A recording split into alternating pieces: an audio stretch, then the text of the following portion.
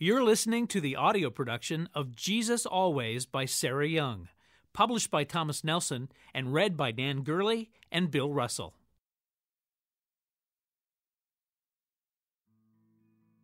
January 1st. Do not dwell on the past. See, I am doing a new thing. As you begin a fresh year, rejoice that I am continually working newness into your life. Do not let recent disappointments and failures define you or dampen your expectations. This is the time to make a fresh start. I am a God of unlimited creativity. Expect me to do surprising things in this year that stretches out before you. Today is a precious gift. The present moment is where I meet with you, beloved. So seek my face throughout this day that I have made. I have carefully prepared it for you, with tender attention to every detail. I want you to rejoice and be glad in it. Search for signs of my loving presence as you journey along the path of life. Look for the little pleasures I have strewn alongside your pathway, sometimes in surprising places, and thank me for each one. Your thankfulness will keep you close to me and help you find joy in your journey. Listen to the following words from Scripture about living in the present. Forget the former things. Do not dwell on the past. See, I am doing a new thing. Now it springs up. Do you not perceive it? I am making a way in the desert and streams in the wasteland. Isaiah chapter 43, verses 18 through 19. This is the day that the Lord has made. Let us rejoice and be glad in it. Psalm 118, verse 24. You will show me the path of life. In your presence is fullness of joy. At your right hand are pleasures forevermore. Psalm 16, verse 11. Think about how much time you give to sorting through your past. Ask God to help you take notice of the blessings that are occurring in your life right now. Thank Him for His amazing attention to the details of your life. January 2nd. I am your joy. These four words can light up your life. Since I am always with you, the joy of my presence is continually accessible to you. You can open up to my presence through your trust in me, your love for me. Try saying, Jesus, you are my joy. My light will shine upon you and within you as you rejoice in me, your Savior. Ponder all I have done for you and all that I am to you.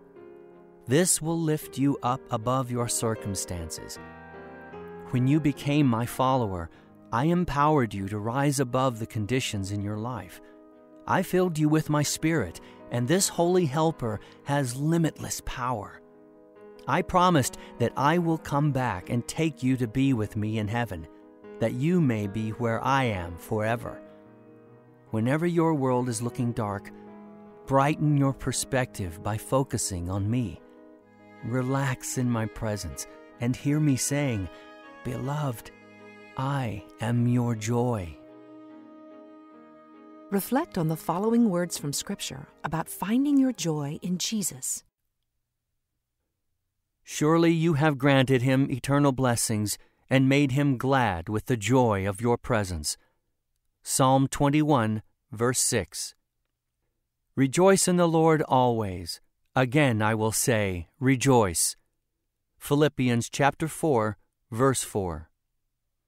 And if I go and prepare a place for you, I will come back and take you to be with me, that you also may be where I am. John chapter 14, verse 3. Consider if you are able to find joy during difficult circumstances in your life. Practice a new habit of saying, Jesus, you are my joy, when you're having dark moments. See if your perspective on the situation brightens by seeking Him during tough times. January 3rd. Be still and know that I am God. Most Christians are familiar with this command, but not so many take it seriously. Yet for those who do, blessings flow like streams of living water. As these believers sit in stillness, focusing on me and my word, their perception of me expands and their troubles shrink in importance. I want you to share in these blessings, beloved. Take time, take time with me. While you rest in my presence, I untangle your thoughts and help you view things more biblically. Remember, my word is a lamp to guide your feet and a light for your path. Biblical thinking illuminates the path before you so you can find your way. It's crucial to know not only that I am God, but that I made you, and you are mine. You are a sheep of my pasture. Sheep have very limited understanding of what their shepherd is doing for them, but they follow him anyway. Similarly, as my sheep, your job is to trust me and follow wherever I lead. Ponder the following words from Scripture about knowing God. Be still and know that I am God. I will be exalted among the nations. I will be exalted in the earth. Psalm 46, verse 10. Whoever believes in me, as the Scripture has said, streams of living water will flow from within him. John chapter 7, verse 38. Your word is a lamp to guide my feet and a light for my path. Psalm 119, verse 105. Know that the Lord is God. It is He who made us, and we are His. We are His people, the sheep of His pasture. Psalm 100, verse 3. Focus on who you think God is to you. Consider creating moments in your day to get to know Him through scripture reading and prayer. Thank Him that you can trust Him fully to guide you through each day. January 4th. Find joy in me, for I am your strength. It is vital to keep your joy alive, especially when you're in the throes of adversity. Whenever you are struggling with difficulties, you need to guard your thoughts and spoken words carefully. If you focus too much on all the things that are wrong, you will become increasingly discouraged, and your strength will be sapped. As soon as you realize what is happening, stop this hurtful process immediately. Turn to me. Ask me to help you with all your struggles. Take time to praise me, speak or sing words of worship. Read scriptures that help you rejoice in me Remember that your problems are temporary, but I am eternal, and so is your relationship with me. As you find joy in me, delighting in my unfailing love for you, your strength will increase.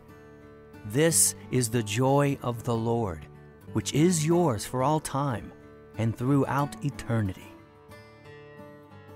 Give thought to the following words from Scripture about God's strength.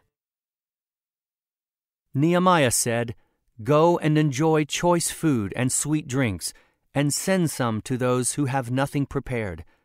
This day is sacred to our Lord. Do not grieve, for the joy of the Lord is your strength. Nehemiah chapter 8, verse 10. Shout with joy to God, all the earth. Sing the glory of his name. Make his praise glorious. Say to God, how awesome are your deeds! So great is your power that your enemies cringe before you. Psalm 66, verses 1 through 3. Let the morning bring me word of your unfailing love, for I have put my trust in you. Show me the way I should go, for to you I lift up my soul. Psalm 143, verse 8. As you strive to lean on God as your strength, think through some situations where you might be leaning on your own strength. Ask God to take control of these situations so He can help you with your struggles. Give praise to Him for the strength and joy you find in Him. January 5th. Let my consolation, my comfort, bring joy to your soul. when anxiety is welling up within you, come to me and pour out your heart. Then sit quietly in my presence while I comfort you, helping you see things from my perspective. I remind you of your heavenly destination, for you are indeed on your way to glory. I infuse my joy and peace into your heart, mind, and soul. When you are joyful, this changes the way you view the world around you. Even though you see much darkness, you can also see the light of my presence continuing to shine. Moreover, the joy in your soul gives you buoyancy, enabling you to rise above the countless problems in your life. Once you have gained this perspective, you will discover that you can comfort others in the midst of their troubles. They will find in you the consolation that you have found in me. Thus, your joy becomes contagious, infecting those around you with joy in their souls. Consider the following words from Scripture about finding comfort in God. When anxiety was great within me, your consolation brought joy to my soul. Psalm 94, verse 19. Trust in Him at all times, O people. Pour out your hearts to Him, for God is our refuge. Psalm 62, verse 8. Praise be to the God and Father of our Lord Jesus Christ, the Father of compassion and the God of all comfort, who comforts us in all our troubles so that we can comfort those in any trouble with the comfort we ourselves have received from God. 2 Corinthians chapter 1 verses 3 through 4.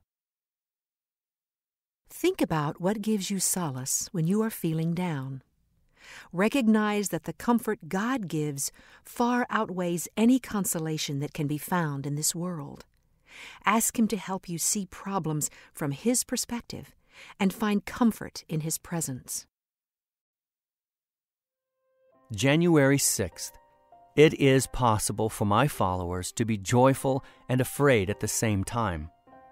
When an angel told the woman who came to my tomb that I had risen from the dead, they were afraid yet filled with joy. So do not let fear keep you from experiencing the joy of my presence. It is not a luxury reserved for times when your problems and the crises in the world seem under control. My loving presence is yours to enjoy today, tomorrow, and forever. Do not give in to joyless living by letting worries about the present or the future weigh you down. Instead, remember that neither the present nor the future, nor any powers, nor anything else in all creation will be able to separate you from my love. Talk with me about your fears, expressing your thoughts and feelings freely. Relax in my presence and entrust all your concerns to me. Then ask me to bless you with my joy, which no one can take from you. Listen to the following words from Scripture about joy versus fear. So the woman hurried away from the tomb, afraid yet filled with joy, and ran to tell his disciples. Matthew chapter 28, verse 8. For I am convinced that neither death nor life, neither angels nor demons, neither the present nor the future, or any powers, neither height nor depth, nor anything else in all creation, will be able to separate us from the love of God that is in Christ Jesus our Lord. Romans chapter 8, verses 38 through 39. So also you have sorrow now, but I will see you again, and your hearts will rejoice, and no one will take your joy from you. John chapter 16, verse 22. Take a moment to assess how much you dwell on worrisome situations. Begin to accept the fact that nothing can separate us from the love of God. Lift up a prayer of thanks for how God can bring joy in the midst of fear. January 7th. The more often you turn your thoughts to me, the more you will enjoy my perfect peace. This is a challenging goal, but it is also a glorious gift. I We hope you enjoyed this preview. To continue listening to this audiobook on Google Play Books, use the link in the video description.